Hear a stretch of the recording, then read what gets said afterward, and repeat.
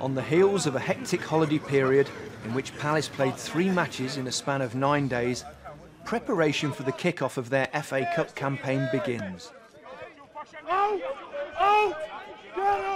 The FA Cup coming round, different competition, different formula, changed a little bit this week.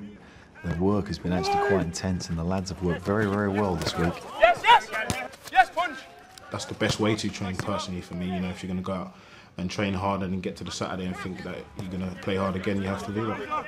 I've been really pleased actually. So we're looking forward to hopefully a good performance.